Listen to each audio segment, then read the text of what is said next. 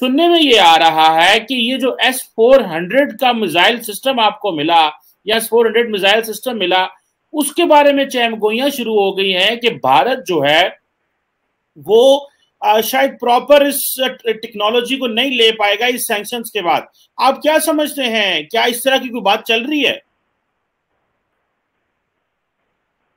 देखिए चीमा साहब बड़ा अच्छा सवाल पूछा आपने शो पे बुलाने के लिए। थैंक यू धन्यवाद। हाँ एक ये जो सेंक्शन लगी है, ये एक मसला तो थोड़ा बहुत खड़ा हुआ है, पर अगर आप हिस्ट्री देखें, पिछले पंद्रह बीस साल से जब रशिया पे सैंक्शन लगी थी, कुछ टाइम इंडिया पे भी सेंक्शन लगी थी तो एक रुपी ट्रेडिंग का मैकेनिज्म दोनों कंट्रियों के बीच में चलता था, और करीब बीस एक बिलियन डॉलर का ट्रेड रुपी ट्रेडिंग से हो चुका था।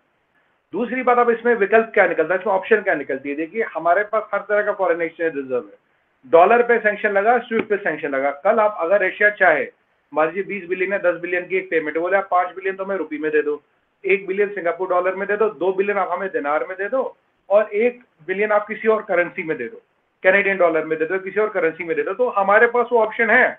तो वो जब रशियंस का भी एक स्टेटमेंट आया था, जब हम आपस में बैठ के बैठेंगे, मिल बैठेंगे तो सोल्यूशन निकलेगा।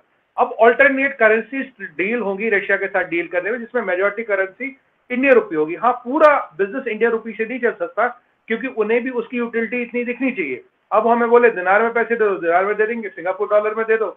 जिस करेंसी में भी बोल देंगे, हम दे सकते हैं, वो दिक्कत है नहीं। तो डॉलर को हटा के तो अमेरिका ने अपनी मतलब वाट लगाई है। हमें तो फ़र्क पड़ता नहीं तो तब भी रशिया से डील करेंगे। अच्छा है रुपी में ज़्यादा बिज़नेस हो, वो तो इंडिया के लिए अच्छा है। भाई, पाँच बिलियन डॉलर देने से अच्छा अगर पाँच बिलियन रुपये दे दे उनको, वो तो हमारे लिए बहुत माकूल है, हमें तो कोई आपत्ति है नहीं। दो we are not trying to make you know misery out of you know money out of somebody's misery but ये एक प्रैक्टिकल सिचुएशन है। हम ये चाहते नहीं थे बट अगर अमेरिकनों uh, ने ऐसा कर दिया कर दिया तो ठीक है जी हम भी अपना रास्ता निकालेंगे पहले भी निकाला अब भी निकालेंगे। लेकिन अगर क्वाड के प्लेटफॉर्म से भारत के ऊपर किसी किस्म की कोई कदगन आती है तो फिर क्या करेंगे? देखिए कॉड का मैं आपको ये आपने बहुत अच्छा सवाल पूछा। देखिए चीमा साहब कॉड का एक ऑब्जेक्टिव एक मिशन है। हम उसके साथ कॉड में जुड़े। अब इसका मतलब नहीं कि हम कॉड में अमेरिका के साथ जुड़े, कल को अमेरिका कुछ भी कर ले, हम तुम्हारे पीछे खड़े भाई, हम उनकी पूछ तो है नहीं। ना ही साइड किक है, ना ही वो एक हिंदी में वर्ड यूज़ किया जाता, मैं यूज़ नहीं करना चाहता नहीं वो है। लोग दर्शक समझ जाएँगे। तो हम भैया, हम आपने कॉड बनाए with purpose we are with you for that purpose if you go for any other adventures or misadventures or whatever it is not मतलब necessary will stand with you everywhere भाई, हमने आपसे कोई निक्का थोड़ी ना पड़ा है। कोई राइट? एक पर्पज था जिसके लिए हम टीम है। और हमारी जो फॉरेन पॉलिसी हमेशा इंडिपेंडेंट रही है। We align with people for a particular cause उस कॉज में हम आपके साथ है कॉज में हम आपके साथ है बट अगर आप ये यूक्रेन में, या कहीं सीरिया में, या कहीं यू नो मिडल ईस्ट में कुछ करते इसका मतलब नहीं कि हम ब्लैंकेटली आपके साथ है। चलो जी, आप लोगों को मारो, मरवा डालो, हम आपके साथ है, ऐसा कुछ है नहीं। Our association is for a purpose and is limited to a purpose only.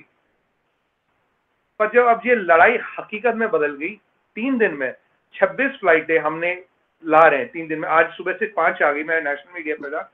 पाँच आ गई छब्बीस फ़्लाइट आएगी तीन दिन में। सी थर्टी जो हरक्यूलिस ग्लोब मास्टर जो सबसे बड़ा जहाज़, उसको भी डिप्लॉय कर लिया। Commercial Air India SpiceJet और इंडियन एयरफोर्स तीनों सॉटी कर रहे हैं। और हमारे चार मिनिस्टर ऑलरेडी जो नेबरिंग कंट्रीज़ है, चार कैबिनेट मिनिस्टर वहाँ है और इवैक्यूएशन को देख रहे हैं।